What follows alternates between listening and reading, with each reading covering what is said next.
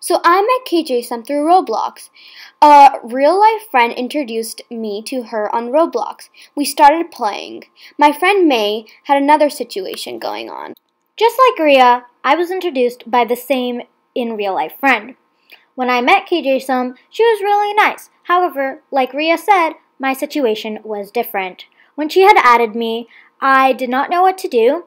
I usually didn't accept friend requests, so I nicely told her Sorry, I do not accept friend requests.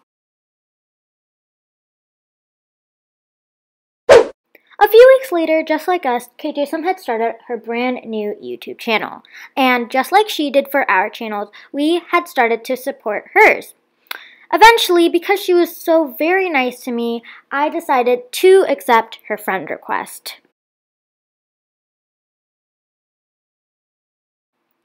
Later that day, I decided to join a game to play Roblox with her, not knowing she was recording a trading video for her YouTube channel. As I began to look around in the game, I saw that the person she was trading had a queen bee, so I thought she was trading for a queen bee. I was right, she was. When their trade was successful, I felt happy for KJ Sum. However, after the trade, she said, okay, now trade back. I was confused. What was happening? I left the game unable to determine what had happened. Then I got a notification from her YouTube channel. She had just uploaded a video of her getting a queen bee for her unicorn, dragon, etc. I knew this video was completely fake, so I decided to join her in game again. As I joined, I asked her, Where is your queen bee? She said, Here it is. Still sketchy, Ria and I decided to question her again. Weren't you making a neon unicorn? I asked. She answered, I didn't actually do that trade. I got a queen bee from another offer, but just uploaded the first offer I had. I was disappointed. She was lying to her fans. It wasn't right. I told her she she shouldn't do that. But she refused and said, It's just a video. Geez, I didn't think you would get so worked up about it. But in reality, we were just confused. After the situation happened, I commented nicely and politely on her video saying, Please don't lie to your fans. KJ Sam didn't accept that. So she started telling us to stop hating on her when all we were doing is to prevent her from lying to her fans. Mai had later unfriended her because of her actions and attitude.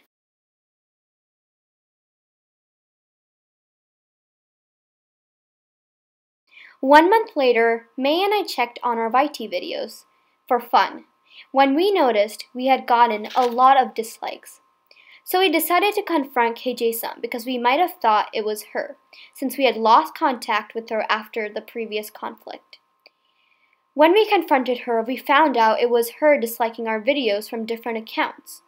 We only found this out through our really close friend in real life who had introduced KJ Sum to us in the first place. In case you don't believe us, it's fine, we understand. We haven't really shown any proof. But here's the proof, guys.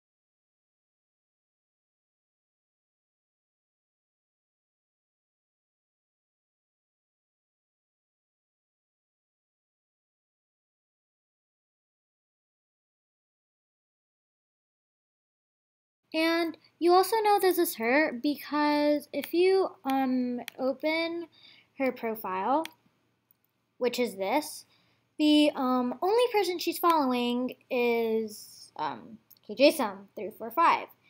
And on top of that, if you go to KJSum345 um, profile and click on her followers, you can see that one Hate on Mai Plays was there, and she made another one. And she must be really desperate for followers because if you click on all the hate accounts, she's joined the group. Mhm. So she's desperate for not only followers, but also group members.